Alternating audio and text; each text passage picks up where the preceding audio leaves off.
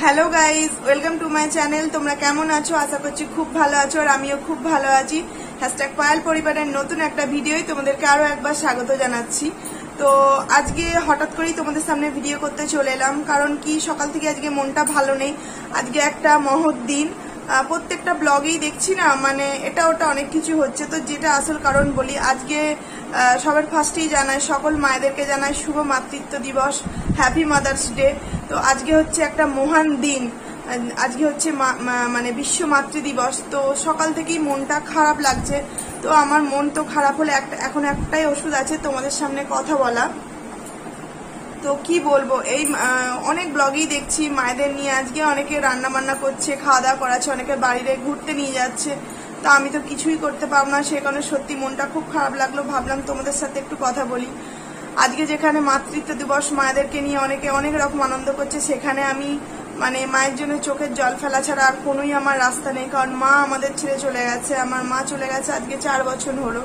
চার বছর হলো আমার মা আমাদের ছেড়ে চলে গেছেন এবং মনে হলো মা চলে গেছেন ঠিক কথাই, কিন্তু হয়তো আমি এই কথাগুলো বললে মা পৃথিবীর কোথাও না কোথাও আছে, ঠিক না ঠিক কোথাও না কোথাও থেকে হলেও মেয়ের এই কথাগুলো ঠিক শুনতে পাবে। সে ভগবানের কাছেই থাকুক আর যেখানেই থাকুক কোনো না কোনোভাবে ঠিক কথাগুলো শুনতে পাবে। তাই আমি এই কথাগুলো তোমাদের সামনে বলতে এলাম। তো মা শব্দটা এমন একটা শব্দ দেখবে, মা কথাটা বললে জীবনের সমস্ত দুঃখ, যত কষ্ট, সমস্ত কিছু ভুলে থাকা যায়। কিন্তু সেই সেই জায়গায় দাঁড়িয়ে নিজে নিজেকে বোঝানো ছাড়া আর আমার কোনো রাস্তা নেই যে আমিও এখন একটা মা হয়ে গেছি, আমি এটা নিয়ে আনন্দ করি।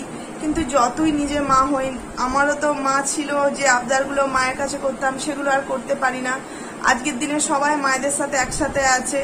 আর আমি দেখো মানে কি বলব, মাকে দূর থেকে ভালোবাসা জানাচ্ছি, মা এখানে নেই, মা অনেক দূরে চলে গেছে আমাদের কাছ থেকে।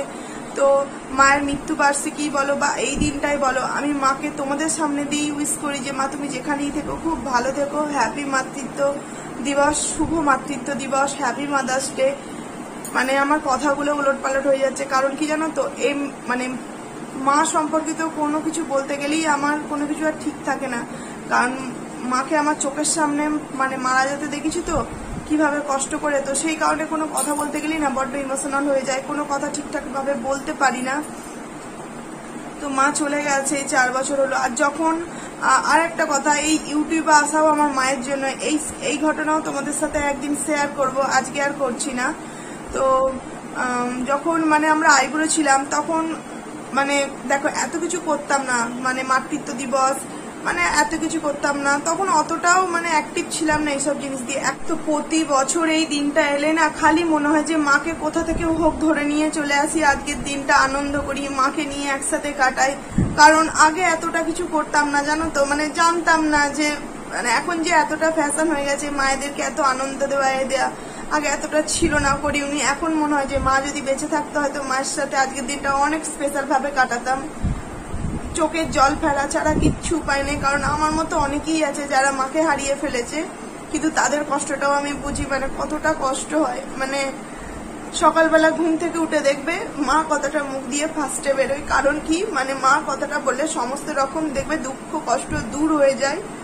সেখানে আমি হয়তো এখন মা কথাটা বলা ভুলিয়ে গেছি, কারণ মাকে হাজারবার ডাকলেও মা আসবে না। কষ্ট ছাড়া কোনো রকম কোনো আনন্দ পাই না। খুবই কষ্ট লাগে, কি বলব? হয়তো অনেকেরই মানে চাই তারা সারা জীবন এই দিনগুলো একসাথে মায়েদের নিয়ে পালন করুক। তাদেরকে যেন কোনোদিন না এই এই দিন ফিল করতে হয়। কারণ এই দিনের যে কি কষ্ট, একমাত্র যার মা নেই সেই বুঝতে পারবে।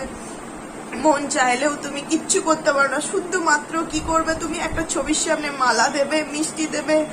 এগুলো শুধুই মাত্র দেখানো আর কিচ্ছু নয় কিচ্ছু নয়। আর আমি সত্যি বলছি, আমার মায়ের ছবিতে না ফুল দিলে আমার বড্ড বেশি কষ্ট হয়। এমনি সময় মনে হয় যেন মা কোথাও না কোথাও আছে, কারণ মা মারা গেছে আমার বিয়ে হওয়ার দু বছর পর। তো সেই কারণেই মনে হয় যে আমি বাপের বাড়ি মানে শ্বশুর বাড়ি আছি, মা বাপ আমার বাপের বাড়িতেই আছে। আর ফুল দিয়ে রাখলে ছবিতে মনে হয় সত্যিই মা পৃথিবীতেই নেই। সেই জন্য ফুল দেওয়াও আমার পছন্দ হয় না ছবিতে। খুবই কষ্ট লাগে, কি বলব? প্রতিদিন সকালে ঘুম থেকে যখন মানে ঘুম থেকে যখন উঠি না, তখন মনে হয় যে আজকে মনে হয় মাকে দেখতে পাবো। কিন্তু ওটা তো স্বপ্নে ভাবি যখন বাস্তব দিন শুরু হয় তখন আর মা সত্যি আর সেই সাথে থাকে না। মনে হয় সবকিছু যদি মানে স্বপ্নের মতো হতো মাকে যদি সত্যি আবার ফিরে পেয়ে যেতাম। তো মায়ের সাথে যে যে দুষ্টুমিগুলো করেছিলাম আর কোনোদিনও করতাম না। যেগুলো এখন ফিল করি, সত্যি মানে আমি বড্ড বেশি ইমোশনাল হয়ে যাচ্ছি, এই জন্য তোমরা আবার কেউ কিছু মনে করো না। খুবই কষ্ট পাই, খুব কষ্ট পাই প্রত্যেকটা ওকেশনে তোমাদের সাথে আমি শেয়ার করছি একটু। যখন জামাই ষষ্ঠী যায়, যখন দুর্গাপুজোয় নমস্কার করতে যাই, সবাই সকলদের মায়ের সাথে আনন্দ করে। সেই জায়গায় কান্না ছাড়া কোনো ওকেশনে কোনো রকম শান্তি মেলে না। সেই জন্য দুর্গাপুজোয় নমস্কার করতে যাওয়া, জামাই ষষ্ঠী, যা সমস্ত কিছু বন্ধ করে দিয়েছি। কারণ গেলেই চোখের জল ফেলা ছাড়া কোনো রকম কিচ্ছু কিচ্ছু আর থাকে না। দেখবে প্রত্যেকটা মেয়েদের বা ছেলেদের একটা ডাক নাম থাকে, যেটা শুধুমাত্র মায়েরা ডাকে। সেই ডাক নাম আজ প্রায় চার বছর হলো বলা বন্ধ হয়ে গেছে। আমি বলো, দিদি বলো, দিদিও খুব কষ্ট পায়। তো এখন দুই বোনে মিলেই যা পারি শেয়ার করি, আনন্দ, মজা। এছাড়া তো আর কিছুই নেই। তো যাই হোক ক্যামেরার সামনে বেশি চোখের জল ফেলব না। অনেকে আবার বাজেভাবে মানে নেবে, বাজে কমেন্ট করবে। তো প্লিজ যারা বাজে কমেন্ট করো প্লিজ এই জিনিস নিয়ে বাজে কমেন্ট করো না। কারণ এটা একটা মানে ভেতরকার বিষয় ফিল করার বিষয়। এটা যারা বুঝবে না, তারাই বাজে কমেন্ট করবে। আর যারা বুঝবে, তারা তো বুঝবেই। আর একদিকে তো আমার মা চার বছর চলে গেছে, আর একদিকে আমার শাশুড়ি মা। তো উনিও আমাকে খুব ভালোবাসেন। হ্যাঁ দেখো, সংসারে তো দেখবে এমন একটা জিনিস, সংসার। শাশুড়ি বৌমার মধ্যে ঝগড়া তো হয়ই। আবার সেটা ঠিক হয়ে যায়, তো তেমনই আমার শাশুড়ির সাথেও আমার হতো। মানে ধরো, দুপুরবেলা যদি কোনো রকম কোনো একটু টুকটাক মনোমালিন্য হলো হলো আবার সন্ধ্যেবেলা সেটা মিটে যেত। তাই আমার শাশুড়ি মাকেও আমি ফোনের মাধ্যমে জানাই তো দিবস। হ্যাপি মাদার্স ডে তো আমি তো এখন এই বাড়িতে চলে এসেছি। ও বাড়িতে আছেন মা। তো যাই হোক, দূর থেকেই ফোনের মাধ্যমেই জানাচ্ছি। আর তোমরা আজকের দিনটা খুব এনজয় করো। আর বিশ্বাস করো, অনেকটা মন থেকে শান্তি পাই। তোমাদের সামনে কথাগুলো বলতে পেরে কাউকে বলার নেই। কাকে বলব? দেখো, দিদিকে যদি শেয়ার করি, দিদিও কষ্ট পাবে। আর দিদি যদি আমাকে এই বিষয়ে কোনো কথা বলে, আমিও কষ্ট পাবো। সেই জন্য দুই বোন না, এই ধরনের কথা আমরা কোনো সময় বলি না, যাতে কষ্ট পায়। আর বাবার সামনে বাবাই তো এমনিতে সবসময় কষ্ট আছে। বাবাকে আর আমাদের মনের কি কষ্ট জানাব? আর কেউ তেমন নেই তাকে কষ্ট জানাবার মতো। তো সেই কারণে তোমাদের সামনে বললে মনে হয় অনেকটা মনটা ফ্রি হয়, তাই জানালাম। তোমরা প্লিজ কেউ বাজে কমেন্ট করো না। তোমরা সকলে আজকের দিনটা খুব এনজয় করে কাটিও, আনন্দ করে কাটিও। মায়েদের সাথে দেখো মায়েদের খেয়াল রেখো। তো আবারও একবার জানাই, শুভ মাতৃত্ব দিবস হ্যাপি মাদার্স ডে আজকের দিনে মায়েদের, মায়েদেরকে অনেক ভালোবাসা জানাই। আর এই দেখো, আমার সোনা ছেলে। এই দেখো লিচু খাচ্ছে দেখতে পাচ্ছ?